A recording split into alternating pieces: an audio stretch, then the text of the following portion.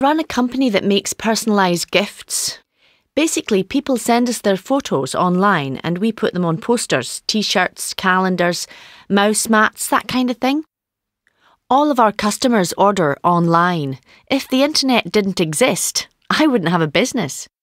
The most important part of the company is our website because that's how everyone places their order. We'd lose a lot of customers if our website crashed. It's a very cheap business to run, but one thing I don't like about it is that I never talk to customers anymore. It's all just online order forms and emails. I'd like to talk to a real customer again, you know, face to face. Wesley. Oh, I've owned this cafe for 12 years, and I'd say that the internet is essential for my business. There's an art college across the road, and the students come in here all the time, you know, just to have a coffee and check their email or whatever. If we didn't have Wi Fi, this place would be empty. They don't even need a password to log on.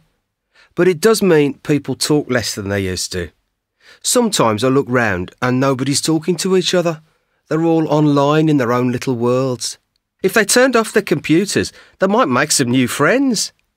But it also means they stay longer and spend more money. So I can't complain, I suppose.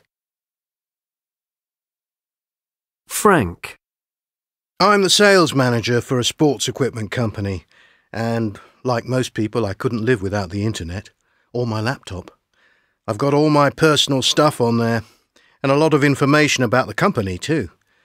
If I lost my laptop, I'd probably lose my job.